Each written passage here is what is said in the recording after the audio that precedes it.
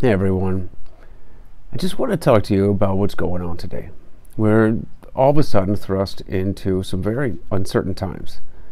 It can be very scary.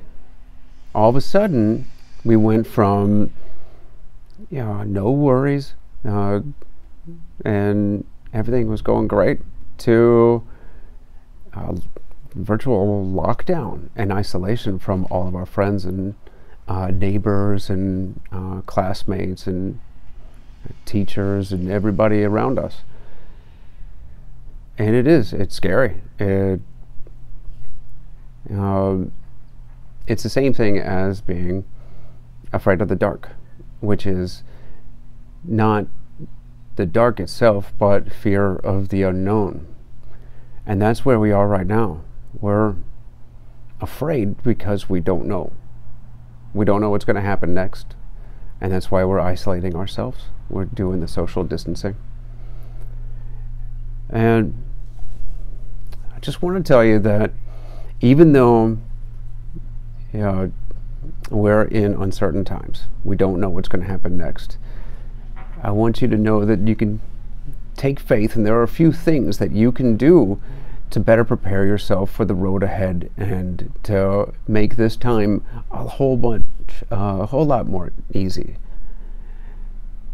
I remember when I was on deployment to Afghanistan and just was out in an unknown, scary desert that I've never been, and the enemy could have been anywhere. And I had to be there with my team and you know my unit. And I remember one day we were uh, we were eating uh, out of uh, MREs, just food out of a bag, and, and not the greatest food in the world, uh, and miserable and thinking about uh, how great it would be to be back home and having home cooked meal, or you know, go out to a nice restaurant. And while thinking that, the wind would kick up and turn already terrible food into a dirt-covered sugar cookie.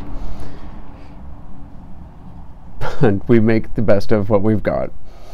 We survived. We pushed through, and we made it home.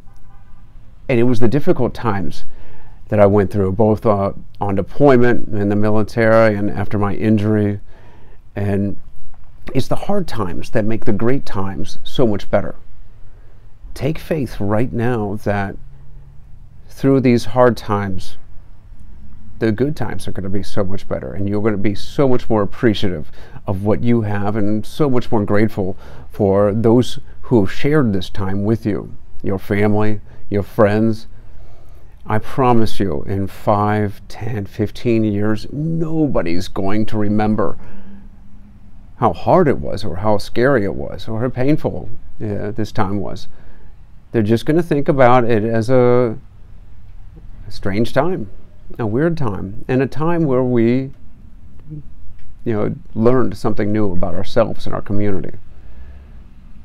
Take this time right now to take stock of you know your relationship with your family and with your friends and your neighbors do your best to get out and maybe you know mow a neighbor's lawn or you can still social distance uh, and get outside I'm in my workout clothes because right after this video I'm going to head to my uh, garage and get a workout in that's one very important step uh, we're doing here is we're not changing our schedule just because we don't have to leave to go to work.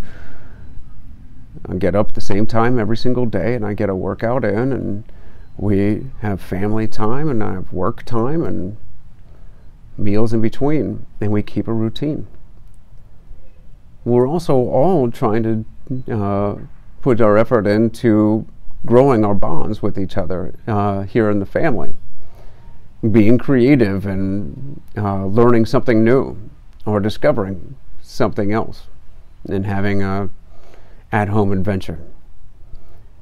Whatever it is, take this time, use it to your advantage, and have faith that this won't last for very long, it won't last forever.